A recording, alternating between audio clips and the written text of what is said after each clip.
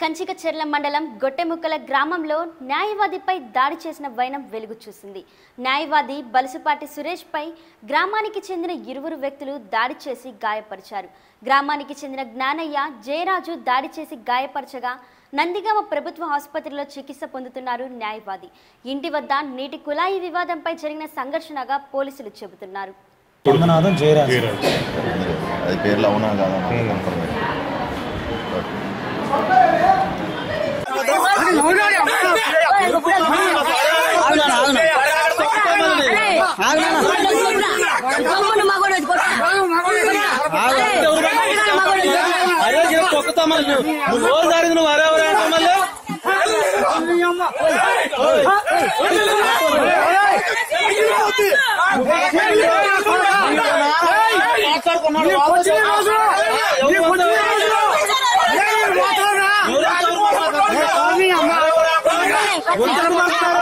ఎంతమంది పట్టు వంతలు అడగమన్నాడు? నువ్వు ఆగనా పద్దాకు మరేవరా నీ నువ్వు నీకెదురే ఆరేనా? ఏవో మట్టి ఏం మాట్లాడాలా? వంతుల పడుతున్నావు రోజు? కడకాకర తొక్కుతో ఎవరు కొడకండి అన్నప్పుడు నువ్వు మాట్లాడుతున్నా ఎవరికి వచ్చా వాడండి ఏం మీకు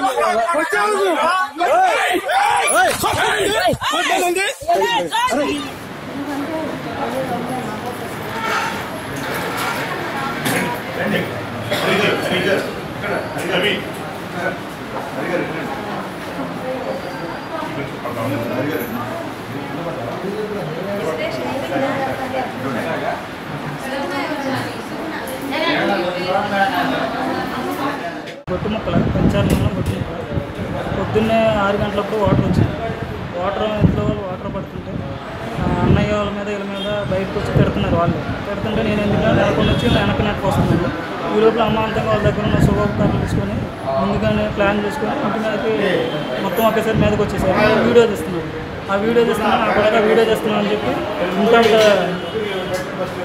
అక్రమంగా ఇంట్లోకి ప్రవేశించి పూల కుండీలు అన్ని పగలగొట్టి ఏం చేసుకుంటారు నువ్వు లాయర్ అయితే ఏమైనా పీకుతావా? మా ఏమైనా చేస్తారా? పోయినసారి కేసు అదే కొట్టేపించి నేను చంపుతాం ఏం చేస్తామని చెప్పి బెదిరించారు. ఎవరెవరు? బంధనాథం జ్ఞానయ్య బంధనాథం జయరాజు బంధనాథం మేరీ.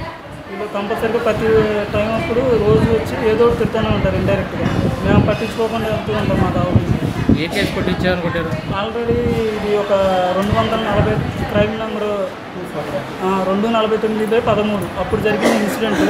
వాళ్ళ కులస్తులే ఇద్దరు సాక్షులను పెట్టి వాళ్ళే కొట్టేపించారు. హాస్టేజ్ చేయించారు వాళ్ళిద్దరి చేత. అది అదునుగా చూసుకొని ఆ కేసే కొట్టేపించి ఇది పెద్ద విషయంగా చంపితే దీని పేరు మీద చర్య తీసుకొని కంపల్సరీగా నేను చంపిన తర్వాత మేము బయట తిరుగుతామని చెప్పి వార్నింగ్ ఇస్తున్నారు. మీ మీద దాడి చేసి ఆంతని ఏడ్చుకొచ్చారు బయటికి. గొడవ జరిగిన తర్వాత కూడా లోన్ నుంచి బయటికి రావద్దు కాకుండా బయట కాపలా కాశారండి అసలు బయటికి అడుగు తీస్తే చంపేస్తామని చెప్పేసి కర్రలు పట్టుకొని ఇంటి ముందు ఆంతన కూర్చున్నారు. ఆరు గంటలకు ఇన్సిడెంట్ జరిగితే కానిస్టేబుల్ గారు వాళ్ళు ఏడున్నర కూడా వచ్చారు. అప్పుడు దాకా ఆంతన కూర్చొని నొప్పుతోనే మళ్ళీ ఆంతన స్టేషన్ కాడికి వచ్చి ఎస్ఐ గారు వచ్చిన అక్కడ రిపోర్ట్ తీసుకొని ఆ తర్వాత ఇక్కడ గవర్నమెంట్ హాస్పిటల్కి అడ్మిట్ చేశారు. అదే గ్రామానికి చెందిన జ్ఞానయ్య జయరాజన్ తండ్రి కొడుకులు ఇద్దరు చిన్న మంచినీటి కుళాయి కొంత దగ్గర గఫం పెట్టుకొని ఇంట్లోకి వచ్చి దారుణంగా సురేష్ని గాయపరచడం జరిగింది. గాయపరిచిన తర్వాత కూడా ఒక గంట గంట సేపు నిర్బంధించి ఇంట్లోంచి బయటికి రాకుండా భయభ్రాంతులు పూజ చేసి ఇక్కడ కొంతమంది అధికార పార్టీ నాయకులందరూ నిర్బంధించడం జరిగింది. తర్వాత పోలీసులు తీసుకొచ్చి సురేష్ని తీసుకొచ్చి పోలీస్ స్టేషన్ రిపోర్ట్ ఇచ్చి హాస్పిటల్లో జాయిన్ చేయడం జరిగింది. కానీ కొంతమంది ఒత్తిడి చేసి దీన్ని చిన్న పెట్టి కేసుగా ఎఫ్ఐఆర్ నమోదు చేయడం జరిగింది. దాని మీద మేమందరం కూడా తప్పకుండా అకారణంగా ఒక న్యాయవాదిపై దాడి చేసిన ఆ తండ్రి కొడుకుల ఇద్దరిపై హత్యాయత్నం కేసు నమోదు చేసి వాళ్ళు తగు చర్య తీసుకోవాలని చెప్పి మేము నందిగం భారత డిమాండ్ చేస్తున్నాం. ఇదే ముద్దాయిలు గతంలో కూడా రెండు వేల పదమూడులో సురేష్పై దాడి చేసి గాయపరచడం జరిగింది. అప్పుడు కూడా వీళ్ళ మీద ఎఫ్ఐఆర్ నమోదై కోర్టు రావడం జరిగింది కేసు. కాబట్టి అకారణంగా ఇట్లా న్యాయవాదుల మీద న్యాయాన్ని కాపాడుతున్న న్యాయవ్యవస్థ మీద దాడి చేస్తే ఇంకా ప్రజలకు ఏ విధంగా రక్షణ ఉంటుందని చెప్పి అందరూ ఆలోచించుకోవాలి. దీని మీద చర్చల పోలీసులు తగు విచారం చేసి నిందితులపై కఠిన చర్యలు తీసుకోవాలని చెప్పి మేము డిమాండ్ చేస్తాము